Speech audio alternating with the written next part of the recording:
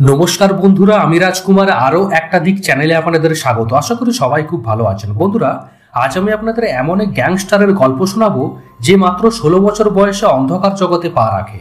Social মিডিয়াকে যে নিজের অপরাধ জগতের প্রচার মাধ্যম হিসেবে কাজে লাগিয়েছিল।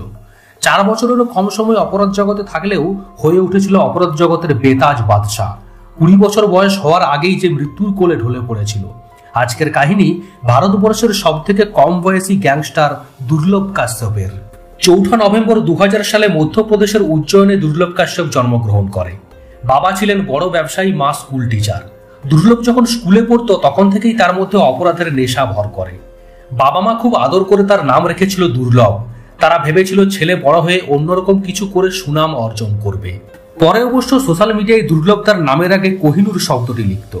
দুর্লভ তার স্কুল জীবন থেকে একজন দাবাং স্টুডেন্টের পরিচিতি লাভ করেছিল। জুনিয়র সিনিয়রদের মধ্যে কোনো ঝামেলা হলে সে মধ্যস্থতা করত। সেই তখন থেকেই তার আতঙ্ক চারিদিকে ছড়িয়ে পড়ে। দুহাজার ষোলো সালে দুর্লভ তার স্কুলের বন্ধুদের নিয়ে একটি গ্যাং তৈরি করে। এরপর তার গ্যাং মারপিট, ভয় দেখিয়ে টাকা আদায়, ডাকাতি, গাড়ির কাঁচ ভেঙে চুরি এইসব অপরাধ করতে থাকে। চোখে কাজল, কপালে লাল টিকা, কাঁধে গামছা। এই ছিল দুর্লভ গ্যাংয়ের ড্রেস কোড দুর্লভ কাশ্যপ প্রথম এমন গ্যাংস্টার যে ফেসবুকে নিজের অপরাধের বিজ্ঞাপন দিত। দু হাজার আঠারো সাল নাগাদ দুর্লভ তার ফেসবুক ওয়ালে একটি মেসেজ লেখে, কুখ্যাত বদমাস গ্যাংস্টার খুনি যদি কেউ ডিস্টার্ব করে, আমার সঙ্গে যোগাযোগ করো। আমার থেকে বড় গ্যাংস্টার কেউ নেই। আমি সব বুঝে নেব। দুর্লভ কাশ্যপ তার প্রতিটি গ্যাং মেম্বারদের নিয়ে একটি হোয়াটসঅ্যাপ গ্রুপ খুলেছিল, যেখানে তারা কবে কোন ক্রাইম করবে তা নিয়ে আলোচনা করত। দুর্লভ কাশ্যপই প্রথম এমন গ্যাংস্টার যে সোশ্যাল মিডিয়ায় নিজের অপরাধের বিজ্ঞাপন দিত। দুর্লভ কাশ্যপের ওপর প্রভাবিত হয়ে ধীরে ধীরে উজ্জয়নের বাইরের ছেলেরাও তার গ্যাংয়ে যোগ দিতে থাকে। খুব কম সময়ের মধ্যে বিরাট এক গ্যাং তৈরি করে ফেলে দুর্লভ। চুরি, ডাকাতি, ভয় দেখিয়ে টাকা আদায় এসবের থেকে বেরিয়ে দুর্লভের গ্যাং এবার খুনের কন্ট্রাক্ট নিতে শুরু করে। এই গ্যাং মেম্বারদের বয়স বেশিরভাগই পনেরো থেকে কুড়ি বছরের মধ্যে ছিল।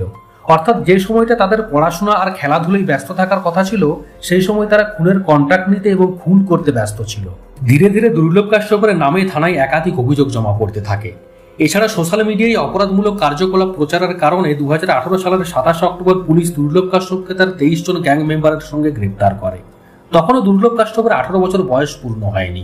দুর্লভ সেই সময় চাইলেই বেল নিয়ে জেলের বাইরে বেরিয়ে আসতে পারত, কিন্তু তৎকালীন উজ্জয়নের এসপি সচিন আতুলকার একদিন জেল পরিদর্শনে এসে দুর্লভকে বলেন তুই যতদিন জেলে আছিস, সুরক্ষিত আছিস, কারণ এত কম বয়সে তুই এত বেশি শত্রু তৈরি করে ফেলেছিস, বাইরে বেরোলে যে কোনো দিন তুই খুন হয়ে যেতে পারিস।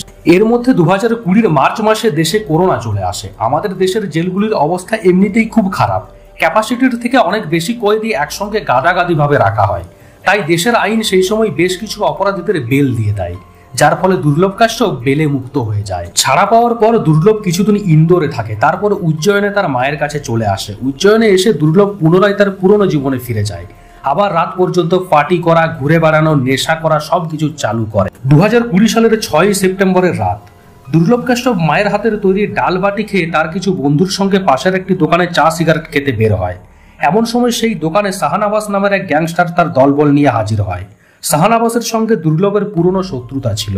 দুই দল একে অপরের মুখোমুখি হতেই শুরু হয় গ্যাং ওয়ার। সাহানাবাসের সঙ্গে ছিল প্রায় দশ থেকে বারো জন, অন্যদিকে দুর্লভের সঙ্গে মাত্র তার চারজন বন্ধু। প্রথমে শাহানাবাস চাকু নিয়ে ঝাঁপিয়ে পড়ে দুর্লভের ওপর। দুর্লভ তার পকেট থেকে বন্দুক বের করে শাহানাবাসের কাঁধে একটি গুলি করে। বিপদ বুঝতে পেরে দুর্লভের বন্ধুরা তাকে ছেড়ে দিয়ে চলে যায়। এরপর শাহানাবাসের দল দুর্লভের ওপর পাগল সিংহের মতো ঝাঁপিয়ে পড়ে। চৌত্রিশ বার চাকু দিয়ে আঘাত করে দুর্লভের দেহ ছিন্ন বিচ্ছিন্ন করে দেওয়া হয়। ঘটনাস্থলে মৃত্যু হয় দুর্লভ কাশ্যপের। বলা হয় দুর্লভকে যখন চাকু দিয়ে আঘাত করা হচ্ছিল, তখন সেই চায়ের দোকানদার বলেছিল, একে ছেড়ো না, একদম শেষ করে দাও। দুর্লভ কাশ্যপ যখন মারা যায়, তখন তার বয়স কুড়ি বছর পুরোপুরিভাবে পূর্ণ হয়নি। দুর্লভের মৃত্যুর শোক সহ্য করতে না পেরে তার মা সাত মাসের মধ্যে মারা যায়। একটি অবস্থাপূর্ণ পরিবারের একমাত্র সন্তান। সে চাইলেই লেখাপড়া শিখে প্রতিষ্ঠিত হয়ে বাবা মায়ের স্বপ্ন পূরণ করতে পারত। কিন্তু তার স্বপ্ন ছিল সে ডন হবে। আসলে বাইরে থেকে দেখে অপরাধ জগৎকে খুব বড় বলে মনে হলেও সেই জগৎ খুব ছোট। তাই তো দুর্লভ কাশ্যপের মতো ছেলেদের কুড়ি বছর বয়স হওয়ার আগেই অকালে এই পৃথিবী ছেড়ে চলে যেতে হয়। ধন্যবাদ। সবাই ভালো থাকবেন।